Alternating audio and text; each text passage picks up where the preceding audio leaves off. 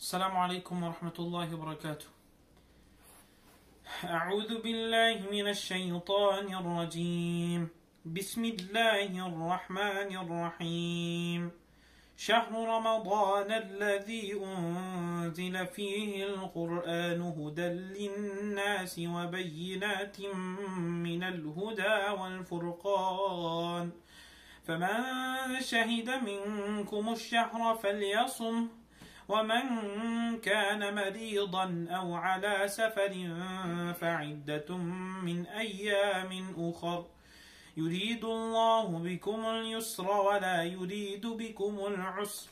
ولتكملوا العدة ولتكبروا الله على ما هداكم ولعلكم تشكرون. صدق الله العظيم. The ayahs that I just recited is in Surah Al-Baqarah. And it basically explains the relationship between the month of Ramadan and the Quran. What it says is that the month of Ramadan is that month in which the Quran was revealed. Meaning, Angel Jibreel alayhi salam first brought the Quran, the first revelation or the first wahi to the Prophet alayhi salatu wasalam in the month of Ramadan. And every year after that, the Prophet and Angel Jibreel would review the Quran year after year in the same month. So, what does that hold for us as Muslims?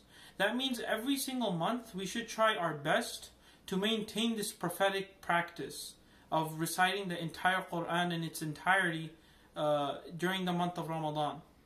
But what is the significance of this action? The reason is, is because the Quran is our only connection with Allah subhanahu wa ta'ala. And it is our best connection with Allah subhanahu wa ta'ala. It's kalamullah. It is the speech of Allah. The Prophet ﷺ says in a hadith that the Quran is hablullah al-mateen. It is the divine rope of Allah.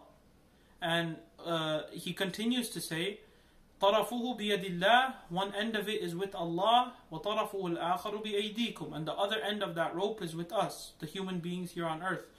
So, what is the point of this hadith? He's saying to use this rope to connect with Allah, that use the speech of Allah to get closer to Him. Because there are many things that the people of Quran have, many perks they have over the rest of the people, which is why they are successful. One major example is that the Quran will be an intercessor for its companions on the day of judgment. There's a hadith اقرأوا القرآن فإنه يأتي يوم القيامة شفيعا لأصحابه Recite the Quran for it will come on the day of judgment as an intercessor for its people, for its companions. And who is a companion of the Quran? It's the person who recites it every day, ponders its meaning, and acts on it. And inshallah we can all become like this as well.